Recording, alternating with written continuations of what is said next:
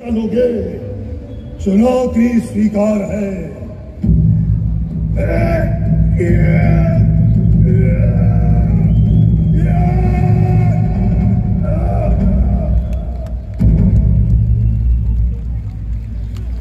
न था कोई, न है इस क्षण जो करे शत्रुओं का मर्दन।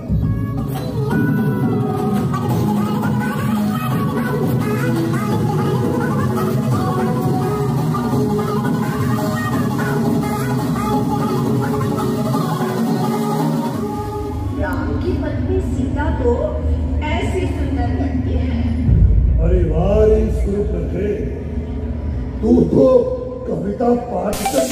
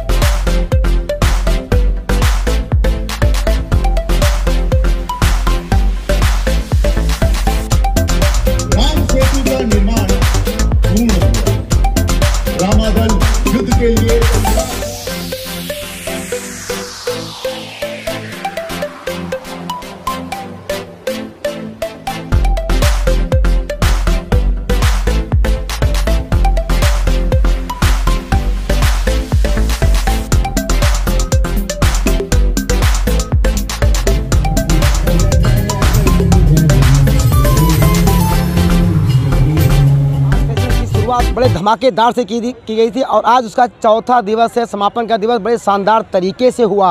आज का जो नाटक था रामायण, मानो पूरा ग्राउंड राममय हो गया था। सबकी जुबा से एक ही नाम निकल रहा था, जय श्री राम, जय हनुमान। आपको बता दूँ 146 के विधायक प्रताप सरनाइक द्वारा ये बड़े पैमाने पे ये आर्ट फेस्टिवल किया गया है। ये हर साल की तरह इस बार भी है। और मैं बता दूँ कि ये आर्ट फेस्टिवल की जो गूंज है, मीरा भाईंदर ही नहीं, बल्कि महाराष्ट्र तक पहुँच चुकी है कि इस तरह का आर्ट फेस्टिवल मीरा भाईंदर शहर में हो रहा है। क्योंकि मीरा शहर में पहली बार शास्त्रीय संगीत का भी कार्यक्रम विधायक प्रताप सर नाइक द्वारा ही हुआ। इसके पहले आज तक कभी नहीं हुआ था।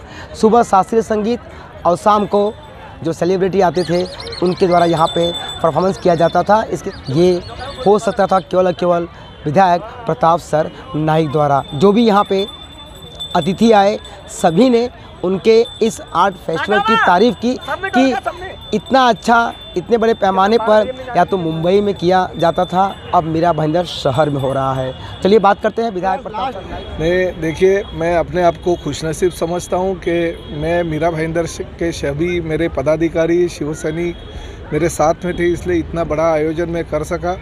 वैसे तो छठवां साल है ये यहाँ का, क्योंकि संस्कृति आर्ट फेस्टिवल जो पिछले कई सालों से मैं थाना में करते जा रहा था तो मीरा भाईंदर की जनता ने कहा था कि मीरा भाईंदर में भी करना चाहिए।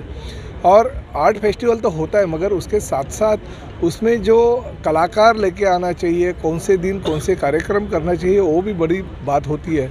सुबह के साढ़े छः बजे जो कलाकार होते हैं शायद शा, शाम के टाइम पे वो कलाकारों को लोग सुनना नहीं चाहते कुछ बांसुरी वादक रहते कुछ संतूर रहते कोई सितार वादक रहते कोई शहनाई वादक रहते कोई तबला वादक रहते हैं। तो ये लोगों को सुबह ही सुनने में जो मज़ा आते हैं वो मज़ा इस साल मीरा भाईंदर के इस विहंग्स आर्ट फेस्टिवल में सभी हमारे मीरा भाईंदर शहर के जनता ने लिया। मैं उनका धन्यवाद देता हूँ। और साथ में पहले दिन मैथिली ठाकुर थी, दूसरे दिन हमारी गीता रबाड़ी जी थी, तीसरे दिन जो गदी माड़गुड़कर जी का जो सुधीर फड़के ने अजरामर किया, वो गीत रामायण था। और चौथे दिन आज श्री रामायण नाम का पुनीत ईस्तर जी का एक बहुत बड़ा महानाट्य था, जिसमें बहुत सारे कलाकार इस महानाट्य में हैं। और आप देखा कि तीन घंटे कैसे निकल गए, किसी को पता नहीं चला। आठ बजे जो महानाट्य शुरुआत हो गई, ग्यारह बजे तक चला और लोगों ने सराहा कि बहुत ही अच्छा सुंदर ये महानाट्य है। उसमें कलाकार भी बड़े बड़े हैं। पुनीत ईसर जी खुद रावण की भूमिका में, उनके बेटा जो है, राम की भूमिका में है। जो हनुमान जी की भूमिका में है। जो बजरंग बली की भूमिका कई सालों तक करते जा रहे थे, दारा सिंह जी, उनका सुपुत्र बिंदु दारा सिंह है। तो ये महान कलाकार यहाँ पे आए तो मैं अपने आप को खुशनसीब समझता हूँ कि लोगों ने इतना प्यार दिया, इतना प्यार दिया। अभी भी देखिए, इतनी रात हो गई, मगर बहुत भारी भीड़ इस मीरा भाईंदर शहर के आर्ट फेस्टिवल में है। तो मैं धन्यवाद देना चाहता हूँ और साथ साथ आप लोगों को भी धन्यवाद देता हूँ कि चाहे सुबह साढ़े छः बजे हो या शाम के ग्यारह बजे हो या सात बजे हो, आप लोग भी सब ये मीडिया के माध्यम से लोगों तक ये पहुँचा दिया। तो आपकी बहुत बड़ी भूमिका इसमें है। मैं धन्यवाद देता हूँ। चार दिन कैसे निकल गए पता नहीं चला, मगर अगले साल का इंतज़ार ज़रूर लोगों ने करना चाहिए। था अगले साल लोगों को क्या नया मैं दे सकता हूँ, मैं अभी से सोचता हूँ। तो आगे देखिए क्या क्या होता है, मगर धन्यवाद फिर एक बार मीरा भाईंदर शहर के सभी जनता को। जिस तरह से आपने कहा कि मैं कुछ नया, यानी विधायक प्रताप सरनायक यानी कि नई सोच, कुछ नयापन करने का। अब नया क्या करेंगे देखिए, गटर वाटर मीटर तो सभी लोग प्रतिनिधि करते रहते हैं, मगर उसके साथ साथ कुछ नई जो लोगों की ज़रूरत है। देखिए, खाली लोक प्रतिनिधि के तौर पे ये काम करना, वो काम करना ऐसा नहीं, बल्कि लोगों की जो कल्चरल ज़रूरत है, वो ज़रूरत पूरा करना भी मैं, मेरा कर्तव्य समझता हूँ। बाकी के लोक प्रतिनिधि के बारे में मुझे पता नहीं, मैं, मगर उसमें मुझे रुचि भी है। क्योंकि क्या होता है कि ज़बरदस्ती कुछ काम करना और रुचि दिल में अगर होगी, दिमाग में होगी तो उस माध्यम से काम करना भी बहुत बड़ी चीज़ होती है तो मुझे रुचि है। और मैं ये सब कार्यक्रम करके मानसिक मुझे शांतता मिलती है। जैसे बोलते हैं ना कि किसी को दोनों टाइम, तीनों टाइम या चारों टाइम खाना खाने की ज़रूरत है, होती है। मगर मैं जो लोगों को अच्छा लगता है, वो देने के बाद अगर लोग खुश हो गए तो मुझे समाधान मिलता है, फिर खाने की भी ज़रूरत नहीं पड़ती ऐसा मेरा स्वभाव है। और पिछले कई सालों से मैं ये करते जा रहा हूँ। मैं फिर एक बार मीरा भाईंदर शहर का जनता को धन्यवाद देता हूँ और आपको भी कहता हूँ कि अगले साल का इंतज़ार कर दीजिए। अगले साल इससे भी कुछ अच्छा लेके आऊँगा। मैं खुद अकेले नहीं है, ये कार्यकर्ताओं की मेहनत है, कार्यकर्ताओं के बलबूते पे ही मैं यहाँ तक लेके आ रहा हूँ। सब एक प्रताप सरनाई का अकेले का ये काम नहीं है।